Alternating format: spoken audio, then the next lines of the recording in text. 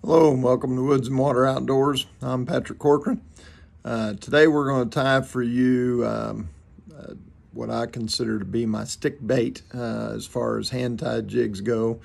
Um, it's uh, something that has no chenille. It's going to be a mix of materials. We're going to use both calf tail and uh, feathers in this. Um, I guess it would resemble a preacher jig. Um, but this was my answer a long time ago. Guys were catching fish on a dock I was fishing, and friends of mine they were using flukes. Um, you know, and that that long, slender body that a fluke presents. Um, and so, uh, if any of you know me well enough, I, am not buying plastic. So, uh, had come up with something and. Uh, also call it my minnow style jig, um, but uh, it's something that gets a, a long, slender profile. Um, and uh, it takes a little time to tie because um, there's several different tie-ins here. But um, so we'll get started here in the vise. I have a uh, 1 16th ounce chub head. I like the, the lower profile head for uh, this particular die. Uh, you could use round heads or anything you want, doesn't really matter. Um, this is just kind of my preference in uh, this style of jig. So the first thing that we're going to put in um, to this, and I think you could use craft fur if you want to, um, but any type of hair that has a little bit of length uh, but I'm using the, my kip tail, um, white kip tail. I'm using the longer portions of it. Uh, if you get a good kip tail, you'll have some hairs that are a little longer, and I didn't quite cut enough of this. What I'm trying to do here is create a little body, um, develop a little bit of uh, thickness to the jig. Uh, originally, when I first started making these, all I did was feathers, and I used uh, some other material, um, some yarn that I'd put on the hook first to kind of build up a little bit of a body. Uh, but I found that to be unnecessary. Not that it uh, doesn't work, because it did. Oops, I pulled that right out. So we'll start that over. Trying to get it around the, the hook a little more pulled it out.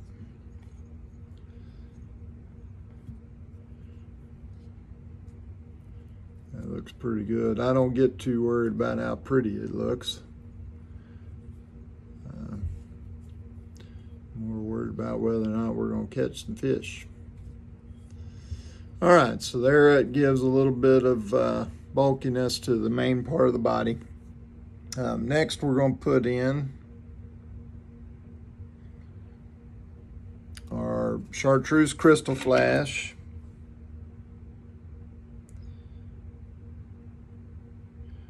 And usually I have all this material cut, and I did, and I guess I knocked it off my table.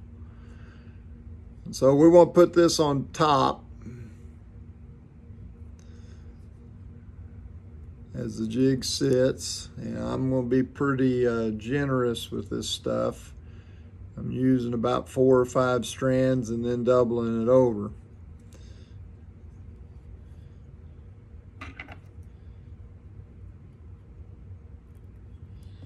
And cutting off whatever I got long.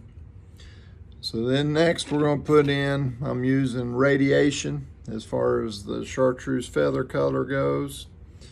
Um, and one of the things that we kind of want to do is we want to tie this in on the top quarter of the shank. Uh, we're actually going to let that feather sit sideways like that as opposed to flat on top. And we're going to put two of those in, one on each side. Now, if it does get a little bit on top, that's okay, or you may want it on top. Okay, and so now we have those two tied in, and you can see how you have the kip tail in the center. Okay, and then in the bottom or the belly, I'm going to use uh, two longer, I guess V-cuts, if that's what you want to call them, um, that I'm going to put in in the belly of the jig.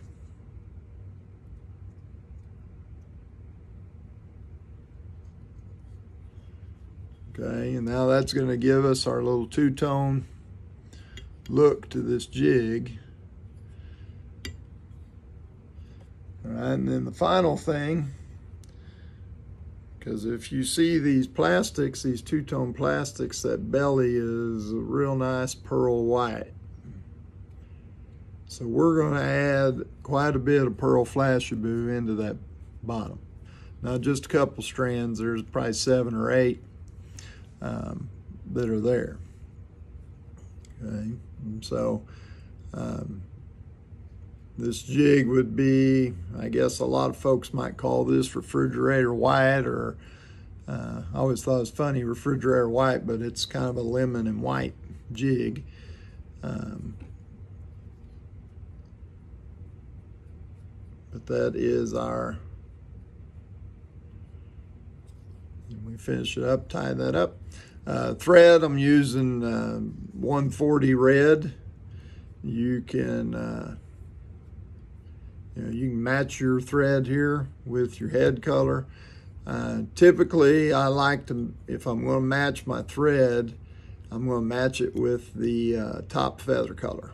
And so if I'm using blue and white, uh, which I really like to do, um, then I'm going to uh, use a blue thread. Um, sometimes on this I'll use chartreuse thread. Uh, just wanted there to be a little variation in this jig. Now as far as, um, you know, I usually, you know, everybody has their own opinion on what to um, use to glue this in, but you need a deep penetrating um, glue or head cement uh, for these style of jigs in my opinion. Something that'll really soak into that thread uh, and not let it uh, unspool on you. All right, so there's our version. Um, minnow jig, uh, preacher style, whatever floats your boat as far as you want to call it. Um, but uh, I'm tying it in this color because this is what I'm going to try to use uh, here on a local lake. Um, chartreuse and white has been a, a, decent color. So tell us what you think about it. Any questions, uh, shoot us a message and, and we'll get them answered for you. Hope you enjoyed and thanks for watching.